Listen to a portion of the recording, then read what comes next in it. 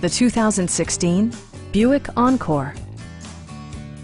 Under the hood, you'll find a four-cylinder engine with more than 150 horsepower, providing a smooth and predictable driving experience. A turbocharger is also included as an economical means of increasing performance.